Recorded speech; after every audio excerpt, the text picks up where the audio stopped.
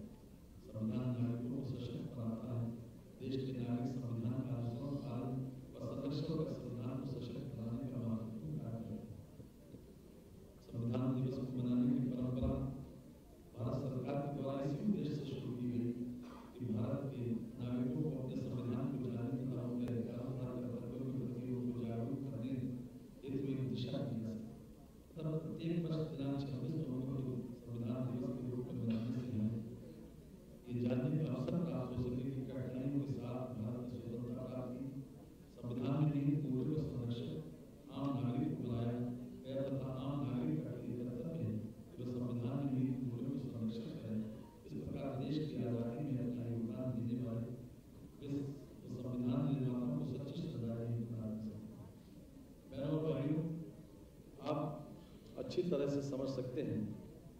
कि संविधान हमारी पूरी तरीके से गाइडलाइन है लेकिन आज़ादी के पचहत्तर साल होने के बाद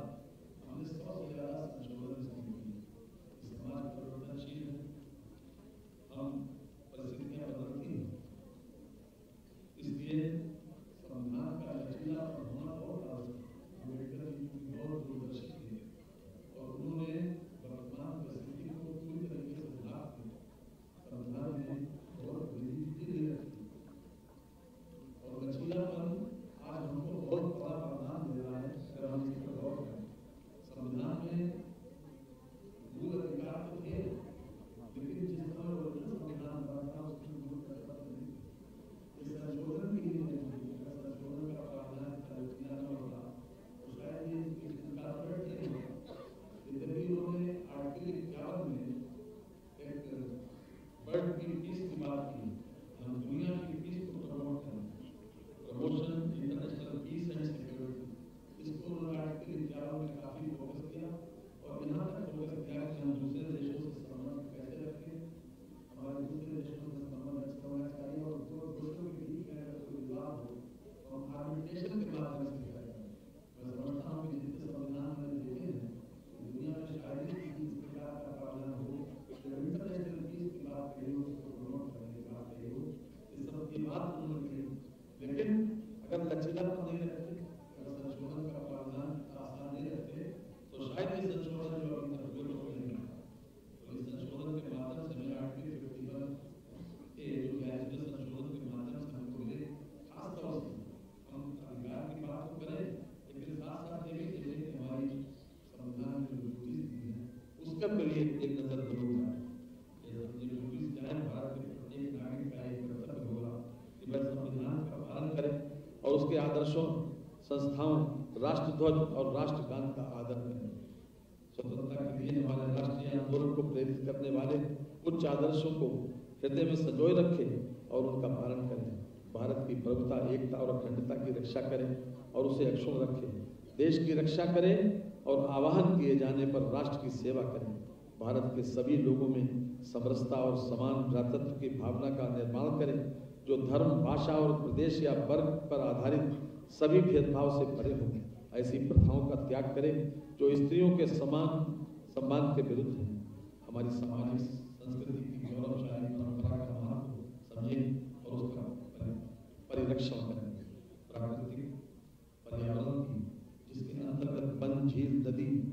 जीव है, रक्षा करें और उसका संवर्धन करें, तथा प्राणी मात्र के प्रति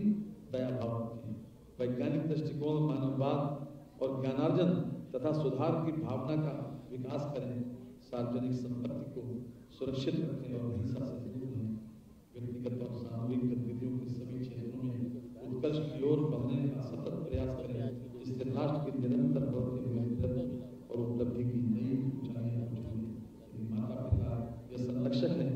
छह वर्ष से चौदह वर्ष तक आयु वाले अपने स्थायी स्थिति बालक या प्रतिपाल्य के लिए शिक्षा के अवसर प्रदान करें बहनों और भाइयों, विशेष रूप से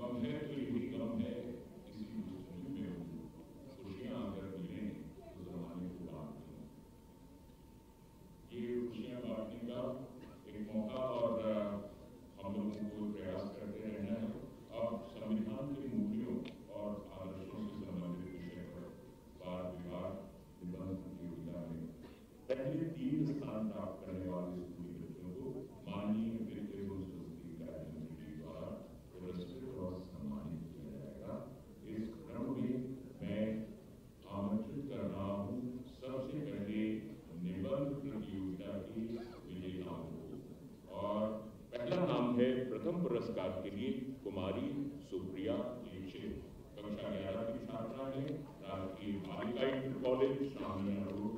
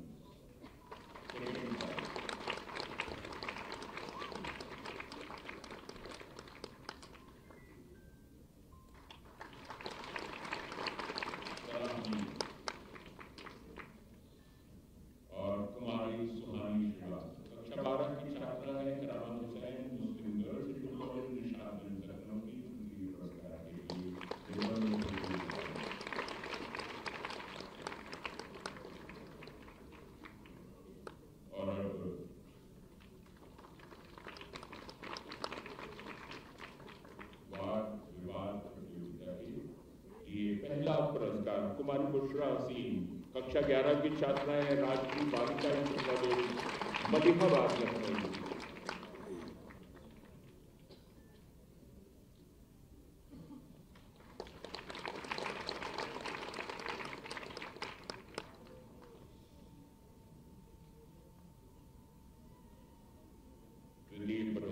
लिए कुमारी राघवी गुप्ता, कक्षा दस की छात्रा है, बाल निकुंज गर्ल्स कॉलेज लखनऊ।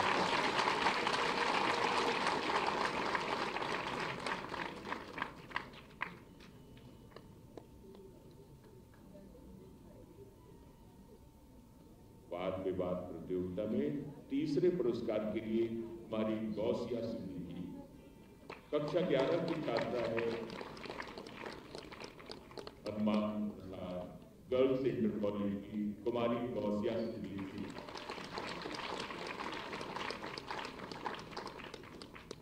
सामूहिक रूप से एक बार कर्तन ध्वनि से बच्चों का प्रोत्साहन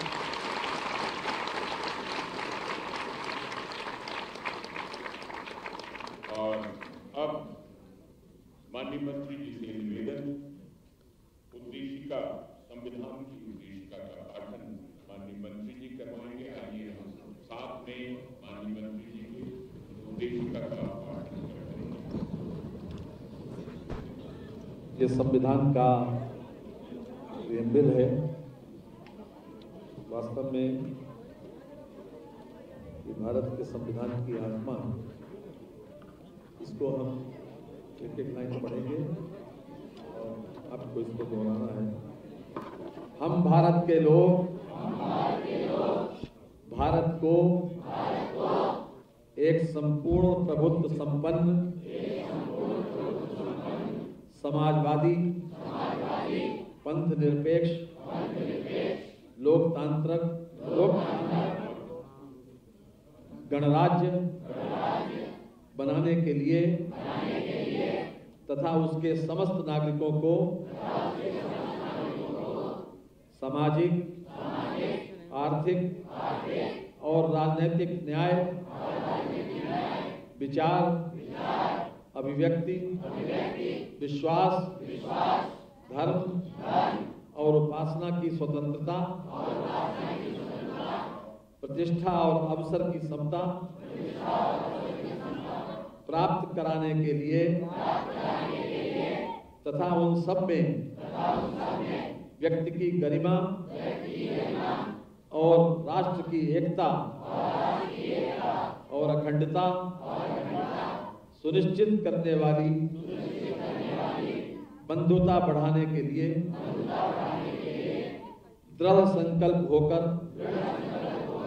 अपनी संविधान सभा में आज तारीख 26 नवंबर उन्नीस सौ उनचास ईस्वी को द्वारा इस संविधान को अंगीकृत, अधिनियमित और आत्मार्पित करते हैं। धन्यवाद बहुत बहुत खन्ना जी को सबसे ज़्यादा धन्यवाद। आमंत्रित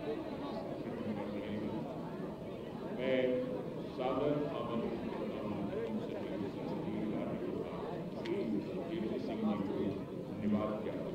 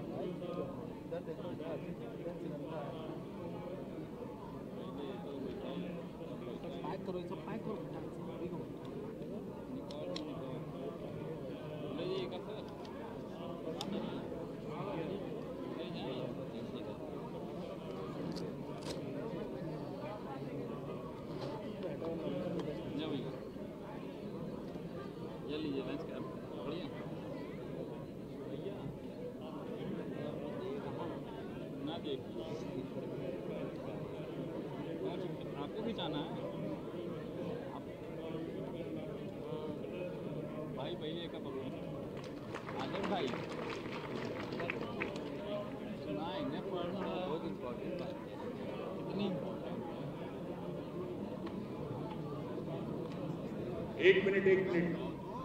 आप लोग अपने स्थान पर ससम्मान खड़े हो जाए राष्ट्रगान